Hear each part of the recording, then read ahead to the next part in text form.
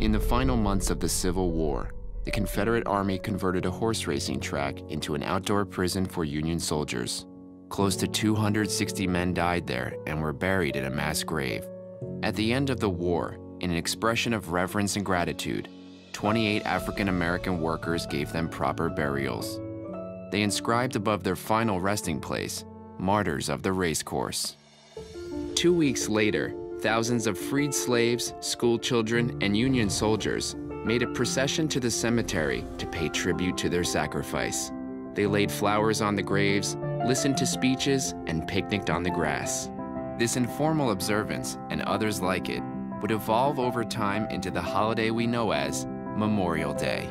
On this day, we remember and honor all of those who have died from all branches of service in conflicts fought by U.S. forces. Alpha Rope 145, attention! Huh! Alpha Route 145 Electric Pote, post!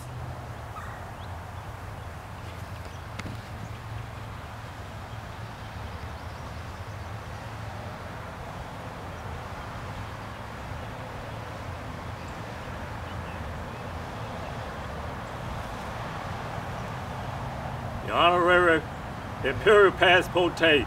Post!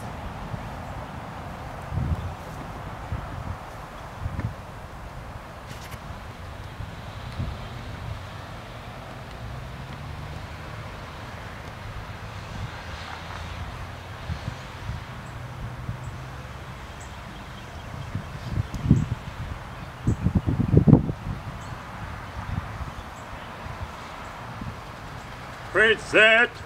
Huh!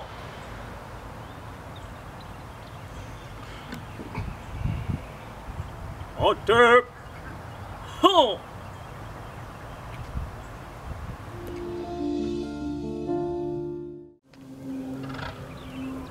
Neighbor Potentate Post!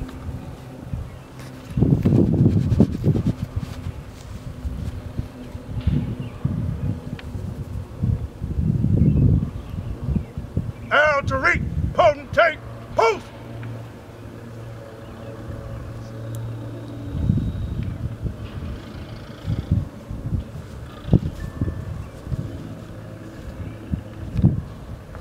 Al Tariq Director Post!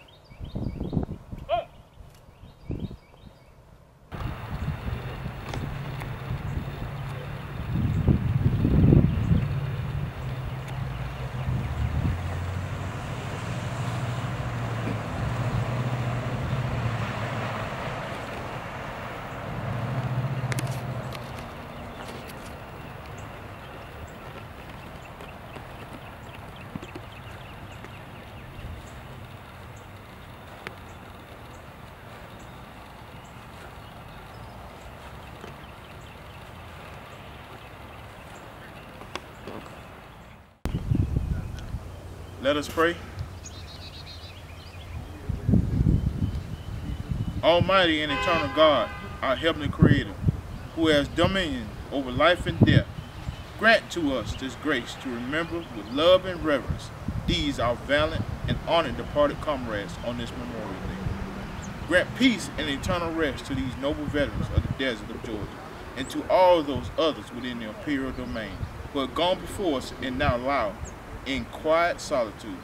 We ask your strength and console us who now sorrow and bestow on us your everlasting blessing. Where there is hatred, let us sow love. Where there is injury, sow the seed of pardon. Where there is doubt, sow the seed of faith. Where there is despair, hope. Where there is darkness, light. And where there is sadness, joy. For it is given that we receive, and in the pardoning that we pardon, and in dying that we are born eternal life. For you the kingdom, power, and the glory, forever. Amen.